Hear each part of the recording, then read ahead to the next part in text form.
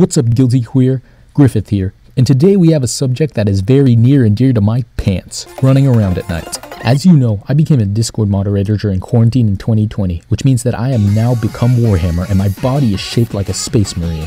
Anyways, this newfound strength became a bit of a problem, since my mom keeps telling me to go outside because she doesn't know that I'm big boned or that my Nordic as fuck heritage makes me melt in 85 degree weather like a British person.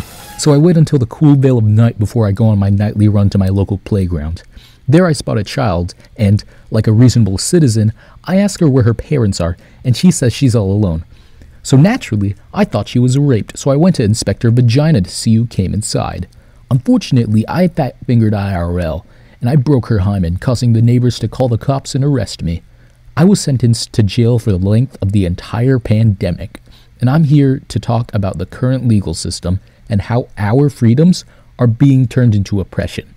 This is stochastic sex. When I was just a baby, my mama told me, son, always be a good boy, don't ever play with guns. But I shot a man in Reno just to watch him. Coming! Stochastic, adjective, randomly determined, having a random probability distribution or pattern that may be analyzed statistically but may not be predicted precisely. Women.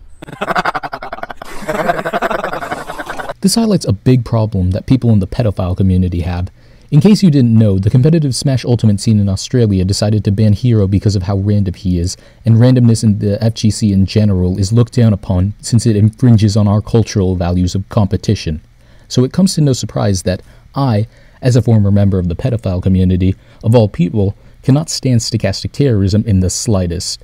Stochastic terrorism is, is when you when you Have you ever had when a you when when when you when you Juan Juan that Juan um, you, you, you, you could, you, do, Juanísimo. you, you want you you could do so One thousand you, you, you could you, you want you want you could Juan do so much you could do anything Long story short, you can say words in attempts to make people to do things without directly saying it. Women, am I right? It is speech made to increase the likelihood of terrorism without directly calling for it. For example, That government building over there is sure taking up a lot of space in spite of its high traffic. It would be a great benefit to you, the people, if the federal building were no longer there. I hate that government building. It is such a nuisance and a pain in my rear end. This form of speech is especially dangerous since it cannot be regulated in any regard due to the First Amendment. However, the logic to stochastic terrorism applies more than just indirectly encouraging people to raid federal buildings. And today, I am here to talk about how stochasticism applies to sex as well. As we all know, since we've been with many women before, women tend to say things that they don't mean. For example, Where are you taking me? I'll call my fucking warrior on you, you bastard! When they say this, what they mean to say is, I hope you got a nice beach house waiting for me, but I don't want to deal with any of the paperwork, so I'll tell my lawyer to do it instead for me. As for calling you a bastard, she is acknowledging your illegitimate conception, which led to much strife in your life, and she wants to get married before she bears your children so that they can have a stable and more loving childhood. But Griff-chan, you might be saying, isn't that just a doublespeak and not an example of stochastic terrorism? What's the difference? I take a look at my enormous penis and my troubles start a melting away. Anyways, as ruled in the 1969 court case of Tinker v. Des Moines, the Supreme Court of the United States has declared that clothing is now considered speech, and scandalous clothes tell us the wearer is horny. Under the same logic that applies to stochastic terrorism, saying, I'm horny, increases the chance that sex will happen between the people involved in the conversation without either party saying, Big brother, I want you to give me your big, juicy, thick and drench me with your hot, sticky until I'm gasping for air there. I said it! Some fascist propagandist will argue that this idea of stochastic consent doesn't exist due to the fact that it doesn't utilize mass media the same way that stochastic terrorism does. Nigga, if you were there to give that big boy a smack, you'd be calling it mass media yourself. Damn! Look at that big ass. Look at that big juicy booty. If you want something which ought to be banned for the sake of stochastic sex, more particularly stochastic rape, making a list of the sexiest people of all time could be considered stochastic rape.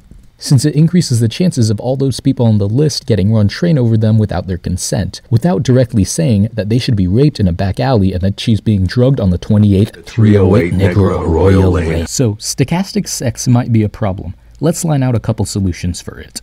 The first solution is to ban the portrayal of women in media. Even if these people aren't conventionally attractive and we're only staring at land whales, people will adapt, improvise, and overcome in order to get horny over any woman portrayed in media. The other problem is the slutty clothing saying, I'm horny. The best solution to this is to get an entire cloak to cover the female form. You can make this better by having them concealed in the veil of night, perhaps make it a black coat. This homogeneity in clothing so that hides all physical features means that women will have an equal chance of getting raped by any man. It is The great equalizer. Because it means that you, yes, you, have the same chance of being raped as a famous celebrity who has hundreds of thousands, if not millions of dollars to spend on self defense. But, in my opinion, the best way to solve this stochastic sex issue is to flippantly and constantly accuse people of committing it.